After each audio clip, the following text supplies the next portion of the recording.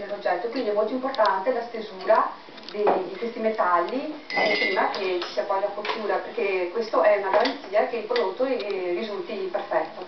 Quindi è ancora molto più complicato, molto più impegnativo. Sì, sì, sì, anche perché bisogna stare attenti che non rimangano delle piccole parti scoperte, perché poi altrimenti si nota e bisogna ripassarlo un'altra volta nel forno. Bene, abbiamo parlato di decorazione, gli oggetti sono pronti per essere imballati e spediti, ma a questo punto dobbiamo fare un salto all'indietro, andiamo a vedere i disegni stampida a cui nasce tutto questo.